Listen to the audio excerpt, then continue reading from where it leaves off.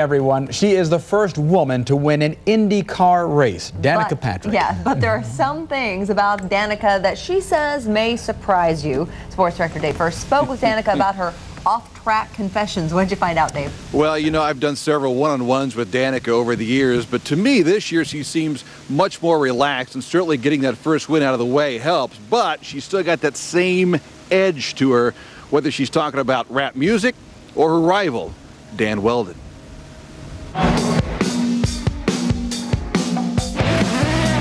Looking for just one way to describe Danica these days? Good luck. There's a whole Danica package that comes with you, is there not? Carry a lot of baggage, I do. There's the Danica fans, pro or con. I heard my first booze last year for the first time. You know what? I think it's funny. I think if somebody takes that much effort to let me know that they don't like me, must mean they're still watching. There's the very fashionable side, which isn't confined to just her in the paddock. You know how many pairs of shoes I had to bring to this this race and the next one? Like, like 10. Well, if there was another guy in the series that brought That many that shoes. many shoes, who would it be? Do you think that there's anybody that could have brought 10 pairs of shoes? Yes. Anybody out there? Wheldon. Is this thing still? What did you say? Wheldon, I got a cold. I apologize. I know, I heard you've been coughing lately. Yeah, I'm sorry. And lately, there's the very cheeky side. Tell me what you got, little mama. From music videos to a Sports Illustrated swimsuit shoot. Show me cheeky. Yeah, yeah, it's good. I like getting made up. I like the hair and makeup aspect, and sometimes the fabulous clothes, and you know, just getting to do that to me is a good time. I'm still very feminine outside the car, which is something that probably surprises a lot of people. The number of projects are seemingly infinite, but don't assume she'll follow in Helio's footsteps. Can you dance? Uh, I was, uh, you know, when I was a kid, I took um, took jazz lessons. I took, um, Jazz lessons? yeah, that's Really? right. I was young. Jazz hands. Not ballet. All that. See? Yeah. These aren't spirit fingers. These are spirit fingers. Number one, I couldn't do that. Number two, I'd be too angry and like competitive. I'd be sitting on those benches looking at my competition like this.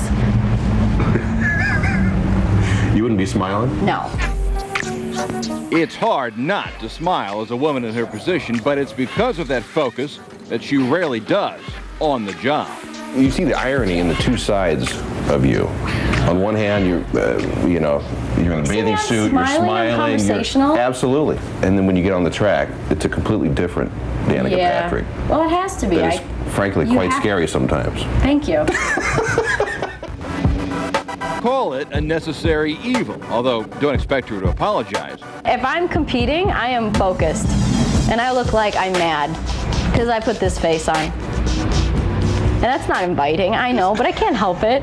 I can remember the perfect picture of probably how I feel is uh, it was 2005 at the Indy 500, and there's a picture of me, and everybody's around, and I'm sitting on the wall, and I'm like, please leave me alone. Just, and that was the picture right here of me like this that that was run, and I thought, you know what? Yes, I was fed up at that point.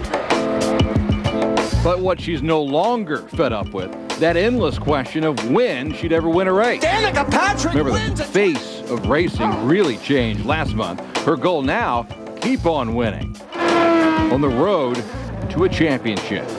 I think that as a driver, I think uh, one of the, my strengths is consistency and, um, you know, not sacrificing a whole race for one position.